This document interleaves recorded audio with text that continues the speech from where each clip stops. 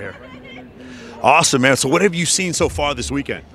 Uh, I've seen a lot, bro. Uh, it's been a lot going on in Vegas. Uh, Other than the cold, I've been trying to enjoy myself and been great food. So, um, but it's been a lot going on, bro. There's a lot of a lot of people that I've seen and ran into a lot of famous people. So I don't know. There's been too much going on in Vegas. Any of your teammates here? Um, my former teammates. It's a lot of my former teammates here. Yeah, I haven't ran into them out here though. Nice. Yeah. Are you excited to see 21 Savage, 50 Cent tonight? Bro, I can't wait. I can't wait, man. Can't wait. 50 Cent was one of my idols growing up, so I can't wait to Isn't see it him. crazy? Are you going to the game tomorrow? Uh, I'm still debating. I'm still debating. Yeah, I might, might, might end up going though. Yeah. Nice, nice. What do you expect to see in here for the rest of the night?